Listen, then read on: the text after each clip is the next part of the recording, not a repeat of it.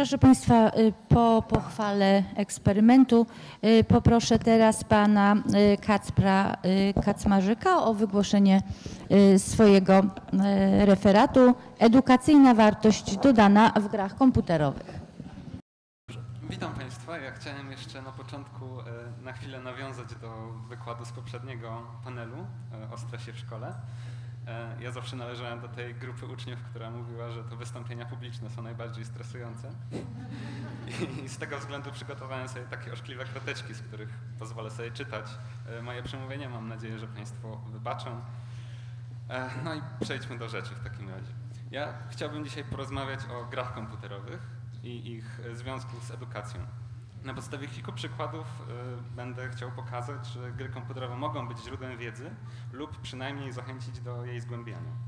Zapro- Zaproponuję także zmianę spojrzenia na gry komputerowe przez środowiska związane z edukacją, która m, ta zmiana mogłaby mieć pozytywny wpływ na rozwój edukacji i systemów szkolnych, a także na wychowanie przyszłych pokoleń.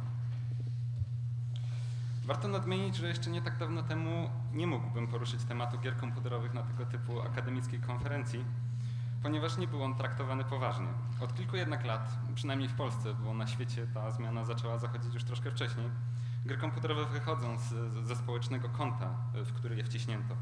Kilka lat temu branża gier komputerowych przerosła zarówno y, branżę filmową, jak i muzyczną pod względem finansowym, stając się najbardziej y, rozwiniętą, największą branżą rozrywkową na świecie. E, Ludzie, nie będę ukrywał tacy jak ja, którzy urodzili się już w czasach, kiedy komputery były ogólnodostępne i którzy mieli z nimi do czynienia od najmłodszych lat, są teraz dorośli, studiują, pracują i wychowują kolejne pokolenie. Sprawia to, że gry komputerowe e, jako temat są coraz częściej poruszane. Uniwersytety otwierają kierunki e, studiów, na których uczy się tworzenia gier, tak samo jak od lat szkoli się reżyserów filmowych. Gry są naukowo analizowane, prezentując głębie, której często ciężko szukać w filmie lub książce.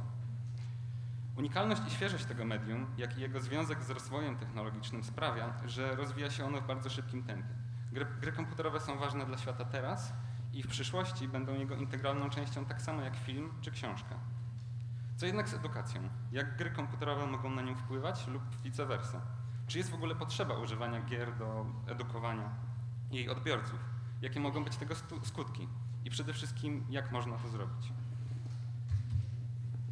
Wydaje mi się poprawnym założenie, że większość z Państwa y, przynajmniej słyszała kiedykolwiek o grach edukacyjnych.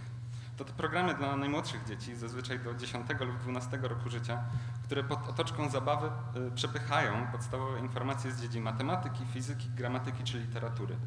Tego typu gry nadają się dla najmłodszych dzieci. Są także niewiarygodnie podobne do wszelakich bajek, które także przepychają podstawowe informacje, których dziecko będzie potrzebować w szkole, postaci zabawnych scen lub anegdot wypowiadanych przez lubiane postaci. To nie są jednak gry, gry edukacyjne, o których chcę tutaj rozmawiać. Dla mnie ważna jest edukacja dzieci nieco starszych lub nawet dorosłych, bo przecież uczymy się całe życie. Różnicą jednak jest to, że w przypadku gier edukacyjnych najważniejsza jest nauka, najważniejsza jest przeka- przekazywana informacja, natomiast rozrywkowa otoczka to tylko dodatek, sposób na to, żeby zainteresować odbiorcę. Można by się kłócić, że tego typu gry przestają być rozrywką w taki sam sposób jak filmy dokumentalne nie są raczej puszczane po ciężkim dniu pracy w celu zrelaksowania się. Mnie zależy natomiast na pokazaniu, że można nauczyć się bardzo wielu rzeczy przy okazji grania, podczas relaksowania się po ciężkim dniu przy swojej ulubionej grze. Można o tym pomyśleć jako o edukacyjnej wartości dodanej gier komputerowych. Nie jest ona bowiem głównym celem gry, głównym celem jest oczywiście rozrywka. Nic nie stoi na przeszkodzie jednak, by w trakcie gry przyswajać, najlepiej mimowolnie i nawet bezwiednie, informacje z wiedzy ogólnej lub nawet specjalistycznej. Siła tego typu podejścia kryje się w tym, że odbiorca takiej gry nie czuje, że edukacyjna wartość y, do, dodana jest w niego wmuszana. Jest to bardzo ważna cecha. W końcu mówi się, że ludzie chcą się uczyć, nie chcą być jednak do tego zmuszani. Myślę, że łatwiej będzie to zrozumieć na podstawie kilku przykładów. Są to istniejące gry, w większości dosyć popularne. Zacznijmy od gry pod tytułem Europa Universalis. Jest to seria gier istniejąca już od ponad dekady, która zyskała sobie oddaną grupę fanów. Pod względem gatunku jest to gra strategiczna, w której zadaniem gracza jest prowadzenie rozwoju wybranego przez siebie państwa od czasów wczesnego renesansu po rewolucję przemysłową. Na ekranie mogą Państwo zobaczyć, jak ta gra wygląda. Przez większą część czasu gracz wpatruje się w dosyć dokładnie oddaną mapę polityczną lat 1400 do 1800, na której umieszczone są kraje, o których nawet nie wspomina się na lekcjach historii. Podczas rozrywki, rozgrywki, przepraszam, mają miejsce także wydarzenia historyczne, takie jak plagi, wojny domowe i podboje, które są przeprowadzone z historyczną dokładnością. Oczywiście interakcja gracza może zmienić bieg historii bardzo drastycznie, jednak wszystko dzieje się w historycznie ustawionych ramach. Obcowanie z tego typu grą nawet przez kilka godzin tygodniowo może wpłynąć bardzo pozytywnie na wiedzę historyczną i geograficzną odbiorcy. Często mówi się, że wizyta w muzeum to taka żywa lekcja historii, podczas której możemy nauczyć się dużo więcej i szybciej niż podczas tradycyjnej lekcji w szkole. Jak więc można nazwać osobiste poprowadzenie wojsk, wojsk 13 kolonii przeciwko Brytyjczykom, próbę obrony Polski przed potopem szwedzkim lub kolonizację Nowego Świata? Europanie Universalis pozwala graczom doświadczyć tych wszystkich wydarzeń, przeprowadzić je osobiście, zrozumieć powody klęsk i konsekwencje zwycięstw. W końcu mówi się, że jeśli coś zrozumiemy, dużo łatwiej jest nam to zapamiętać, dużo łatwiej potem przywołać nam to na maturze z historii i może dorzucić jeszcze jakiś szczegół, o którym nawet nas, nasi nauczyciele nie wiedzieli. Oczywiście należy to traktować z takim przymrożeniem oka. Twórcy Europy Universalis nie twierdzą, że, że są wszechwiedzący, a informacje zawarte w ich grze są w 100% poprawne. To samo jednak można powiedzieć o podręcznikach, z których dzieci uczą się w szkołach, które w dodatku są na pewno dużo bardziej subiektywne w kwestiach narodowościowych. Kolejnym przykładem jest gra Kerbal Space Program, która zgodnie z nazwą symuluje program kosmiczny. Zadaniem gracza jest budowa rakiet, promów i satelitów, dzięki którym będzie mógł odkrywać ciała niebieskie w lekko zmienionym odpowiedniku naszego Układu Słonecznego. Kerbal Space Program, w przeciwieństwie do popularnych klocków, których dziecko może użyć do zbudowania własnej rakiety, cechuje się wiarygodnym oddaniem praw fizycznych zachodzących w realnym świecie. E, a co za tym idzie, budowane rakiety muszą spełniać pewne, pewne wymagania, by wykonać swoje zadanie. Aby osiągnąć sukces, gracz musi zrozumieć, jak siła rakiety ma się do e, jej możliwości przebicia się przez atmosferę, pod jakim kątem należy ją wznosić, by osiągnąć najbardziej optymalną orbitę, czy ile paliwa jest potrzebne do wylądowania na Księżycu. Wszystkie te informacje są wiarygodnie zgodne z warunkami zachodzącymi w prawdziwym świecie, a za, co za tym idzie wiedza, którą zdobywa gracz, jest faktyczną wiedzą z dziedziny fizyki dotyczącą tych samych zjawisk, o których rozmawia się na lekcjach w szkole. I znowu, możliwość popełniania błędów wpływa pozytywnie na zrozumienie działania tych wszystkich zjawisk ich praw, zapamiętania ich i możliwości ich późniejszego wykorzystania.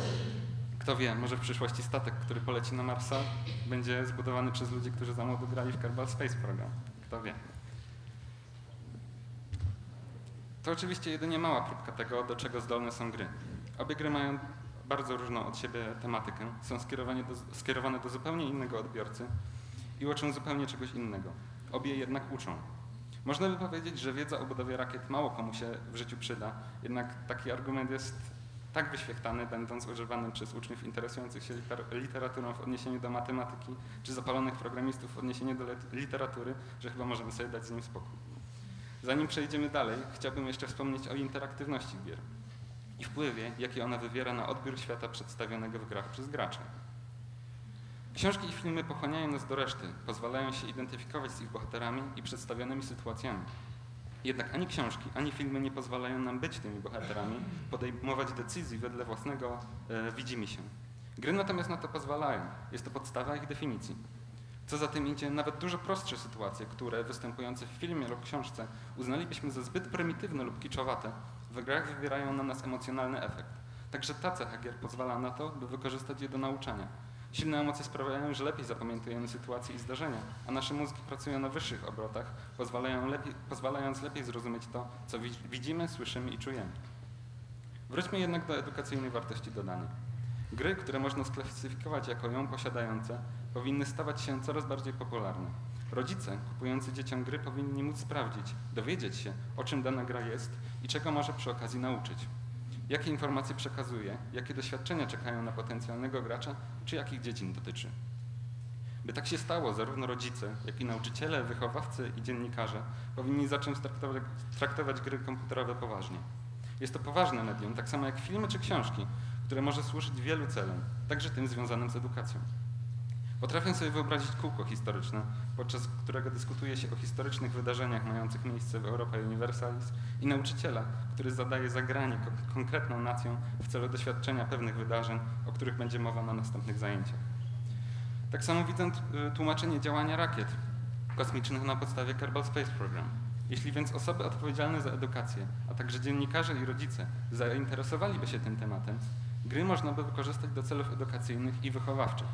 I może wtedy gry straciły piętno niskiej kultury, która nic pożytecznego nie wnosi w życie jej odbiorców.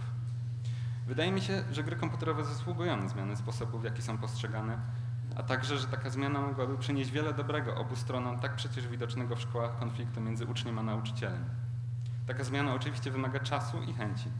Do czego chciałbym przede wszystkim namówić Państwa, to trochę bardziej otwarte spojrzenie na gry komputerowe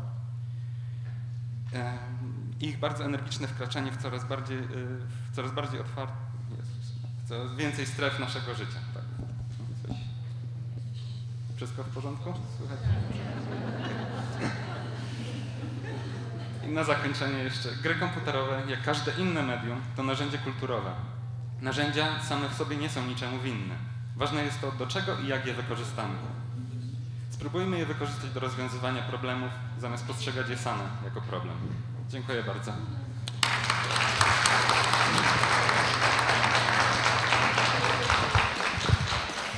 Dziękujemy panu Kacprowi, jak rozumiem, fanowi mechatroniki.